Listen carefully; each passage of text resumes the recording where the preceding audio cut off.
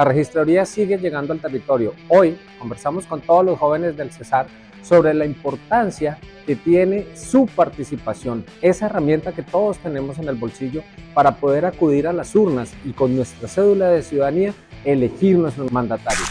Con información tenemos más poder de hacer control social y debemos seguir pues formándonos y creando este tipo de escenarios para responder dudas, para participar activamente, para enterarnos cuáles son los procesos políticos y democráticos que se están desarrollando en nuestro territorio. La registraduría nos trae sus herramientas técnicas y humanas para que todos tengamos la oportunidad de ejercer nuestro derecho.